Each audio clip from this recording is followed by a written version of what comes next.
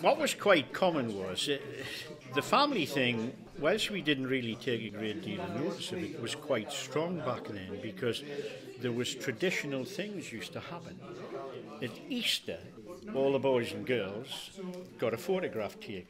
The girls in their new dress, the boys in their new little suits with a jacket and tie, usually short pants and what have you, you know. And you got a formal photograph taken. The other thing was that if you had a christening, it was best bib and tucker again, and they would get all the kids together in a group and take a photograph of them.